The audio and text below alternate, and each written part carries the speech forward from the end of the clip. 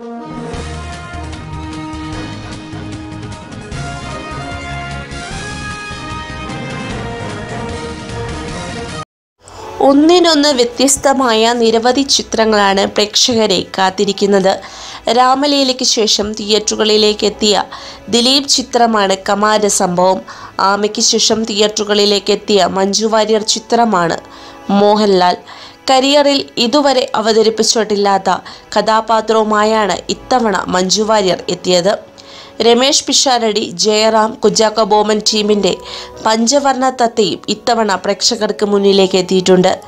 രാമലീലയും ഉദാഹരണം സുജാതയും നേരത്തെ ഒരുമിച്ചായിരുന്നു തിയേറ്ററുകളിലേക്ക് എത്തിയത്. സോഷ്യൽ മീഡിയയിലൂടെ മികച്ച സ്വീകാര്യതയായിരുന്നു ഇരു ചിത്രങ്ങൾക്കും ലഭിച്ചത്. രാമൻ ഉണ്ണിക്ക് മുന്നിൽ പിടിച്ചു നിൽക്കാൻ പെടാപ്പാട് പെടുന്ന സുജാതയായിരുന്നു ആദ്യ ദിനത്തിൽ കണ്ടത്. എന്നാൽ തുടർന്ന ദിവസങ്ങളിൽ ഉദാഹരണം സുജാത എന്ന ചിത്രം മികച്ച പ്രേക്ഷക പിന്തുണ നേടിയെടുത്തു.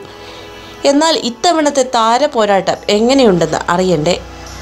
ദിലീപിന്റെയും മഞ്ജുവിന്റെയും ചിത്രങ്ങൾ ഇത്തവണത്തെ വിഷുവിന്റെ പ്രധാന ആകർഷണീയതകളിൽ ഒന്നാണ്. മോഹൻലാലിന്റെ സിനിമാ ജീവിതത്തെ അടിസ്ഥാനമാക്കി അദ്ദേഹത്തിനുള്ള ട്രിബ്യൂട്ടായി ഒരുക്കിയ മോഹൻലാൽ എന്ന സിനിമയുമായാണ് മഞ്ജു വാര്യർ എത്തിയത്. ചരിത്ര കഥ പറയുന്ന ചിത്രവുമായാണ് കമാര സംഭവം എന്ന ജനപ്രിയ നായകൻ ദിലീപിന്റെ ചിത്രമെത്തിയത്. കമാരനോട് നീതി പുലർത്തിയെന്ന് ദിലീപ് തന്നെ വ്യക്തമാക്കി. രതീഷ് അമ്പാട്ട് സംവിധാനം ചെയ്ത ചിത്രമാണ് കമാര സംഭവം. സ്വാതന്ത്ര്യ സമരത്തിൽ നിന്നും പ്രചോദനം ഉൾക്കൊണ്ടാണ് ചിത്രമൊരുക്കിയത്. അഭിനേതാവ് കൂടിയായ മുരളി ഗോപിയാണ് ചിത്രത്തിന് തിരക്കഥയൊരുക്കിയത്. നമിത പ്രമോദാണ് ചിത്രത്തിലെ നായിക.